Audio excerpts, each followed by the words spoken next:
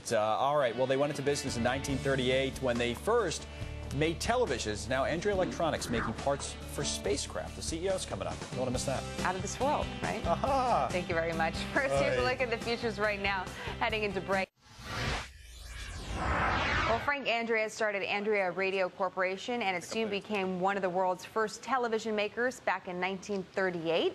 Uh, since then, the company has gone from manufacturing audio, audio intercoms in spacecrafts and even fighter jets to producing noise cancellation microphones. Uh, Frank's grandson Doug joined the company in the late 1980s and has been uh, Andrea Electronics chairman of the board since 2001. Uh, Doug is now joining us now for the C-suite, so a long family uh, line there, Doug. Thank you. Good morning. Good morning. Thanks for coming. Uh, talk to me about what it means to have a noise cancellation microphone because it seems a little counterintuitive.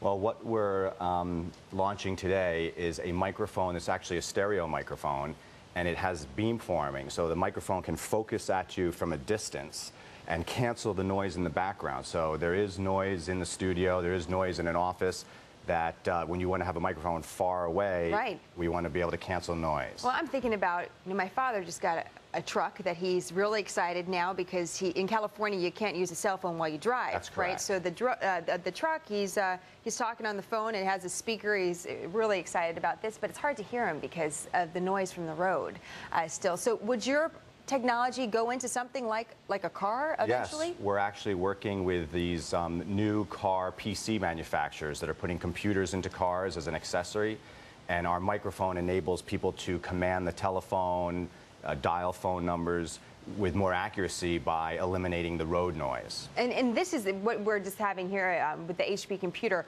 you're doing some deals with HP, a couple other big publicly uh, traded companies as yes, well. Yes, we license our software to large OEMs like Dell and HP. And this year, in the summer of 08, we started shipping uh, 20 million software packages to Dell and 20 million approximately to HP, enhancing their notebooks to become uh, high quality speakerphones. That's so interesting. So really, uh, you know, we see that, that blending of uh, the computer and your telephone and a lot of different interactive products, you know, been around since 1938. Can't imagine kind of what the company's been through. Um, talk to us a little bit about the consumer electronics industry, what you're seeing now. Obviously, you're seeing the buyer for your product, but what else are you seeing? Well, we came to market originally, we innovated the first microphones for speech recognition in the mid to late 90s.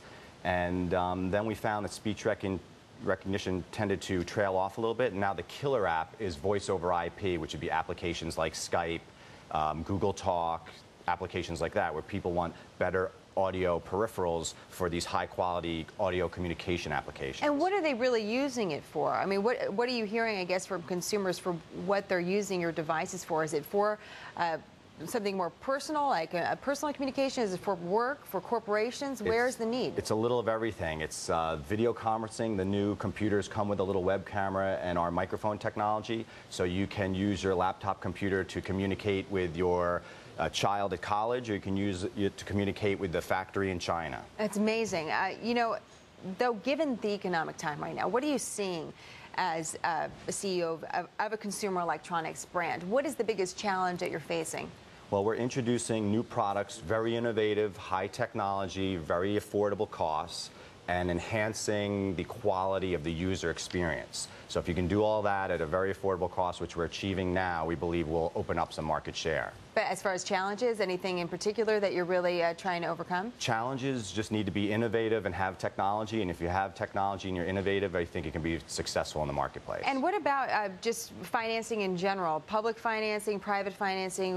What kind of keeps the company going to produce some of these new products? Um, we've been very successful with selling the products, and we're generating income uh, through selling, and we're not looking for raising any capital. And the products are successful, so we just want to build that product line and grow our sales. Who's next? next in line if you're if you're the uh, grandson of the founder? Well, there are a lot of uh, grandchildren running around, so maybe one day it'll be one of them. That was a very diplomatic answer. We don't want to give anything away with the succession plan yet.